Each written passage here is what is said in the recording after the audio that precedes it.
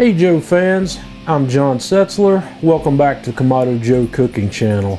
Tonight we're going to fire up our Kamado Joe Classic and make some really good stuffed bell peppers. So let's get started.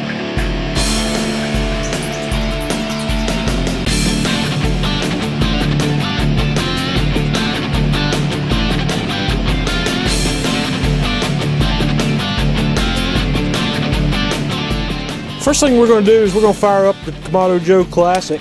I've got one Kamado Joe fire starter cube right here in the middle of my pile of charcoal and I'm going to light that up and we're going to let that burn or so with the vent, bottom vent fully open and we're going to leave the lid open and let this burn for about 10 minutes or so to get this fire going and we're going to set up today to cook at about 350 degrees. Now that we have our fire going here, I'm going to set a couple of uh, small chunks of peach wood in here to get a little bit of smoke going for our stuffed bell peppers. We're going to set just some small ones right there in the middle. And then I'm going to set my divide and conquer flexible cooking rack right in the system here. I have my accessory rack in the lower position and I've got my heat deflectors sitting right on the accessory rack rather than in the low position and I'm going to set each half of my grill grates right on top here. And I'm going to close the lid. And to get to about 350 or so I'm going to close the bottom vent to where it's open about two inches or so or about halfway. And on the top vent I'm just going to close it all the way for now and I'm going to open the daisy wheel. And we're going to let this guy come up to 350 or so. I may have to open this up open the daisy wheel slider up just a little more to get this guy to 350. So we're just gonna watch it and if we need to cool it down, we'll close that, close off the daisy wheel, or if we need to get it heated up, we'll open the slider a little bit more. But we're gonna do all of our temperature control right here at the top. While our Kamado Joe Classic's coming up to temperature, we're gonna get the stuffing ready for these peppers. And the first thing I'm gonna do is I'm gonna start out with one pound of lean ground beef. This is your regular grocery store variety, uh, 93.7 ground beef. I have drained one can of fire roasted diced tomatoes and I saved about a quarter of a cup of the juice from that that we're going to put in there. We're going to add about one tablespoon of tomato paste and then we have a half a cup of the following chopped mushrooms onion, celery, carrots, and then I've got about three cloves of garlic that I've finely minced with my microplane grater.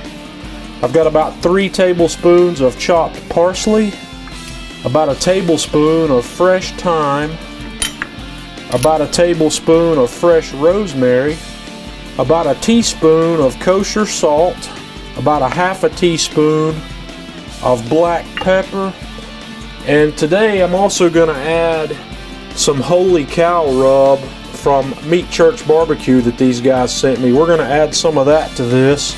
And then I'm just going to put in a dash of Sriracha, the rooster. And the next thing I'm going to do is I'm going to get in here and we're just going to mix all that up. I'm going to glove up and we're just going to get in here and work all this together. And once we get all this together, we're just going to stuff it in our peppers. I've got four bell peppers here of four different colors. And we're just going to take our meat mixture and stuff it in each one of these. I should have enough here to do more than four, but we like things big and bold here in the man cave. Well, we've got all four of these stuffed, and I've got enough left probably to stuff another small one. So, Ashni, what are we going to do? Let's put that back on the grill. We've got our Kamado Joe Classic cruising right at 350 degrees and a nice little bit of peach smoke coming there. So we're going to set this dish right here in the middle and we're gonna let this cook for about an hour or so. Since none of this meat's already cooked, I'll check the temperature on it and make sure we're good. But we're gonna go for about an hour, but we're gonna come back at about the 45 minute mark uh, to put a finishing touch on these, and I'll show you that when we get there. Okay, Joe fans, we've been going about 50 minutes or so. I'm estimating we've got maybe 15, maybe 20 minutes left, but these things are looking real good. I'm to open this up and grate on a little bit of uh, pecorino romano on top of these peppers and give it just a little bit of cheese on top. And we're going to let these go a while longer and we'll be back when they're ready to come off the grill. Okay, Joe fans, these bad boys are ready to come off the grill, man. They're looking really good. So I'm gonna take these inside. We're gonna let them cool for just a few minutes and then we're gonna have a taste. Okay, Joe fans, these guys are ready. So we are gonna have a little taste here. I'm gonna dig into this one a little bit, try to get a, a chunk of this uh, stuffed part out of here and we're gonna have a taste. Mmm outstanding. This has a beautiful flavor to it.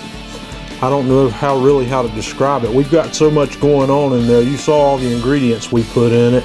The sriracha's in there. You can feel it just a little bit. You can taste it.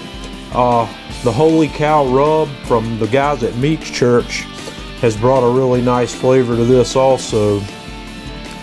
You're gonna have to give this one a try. This is definitely you can serve this as a side or you make a main dish out of this. Give it a try. Let me know what you think. Join us on Facebook, facebook.com slash Joe. Follow us on Twitter at Kamado Joe and uh, leave us a comment on the video. Let us know what you think. Until next time, this is John Setzler with Kamado Joe Cooking Channel.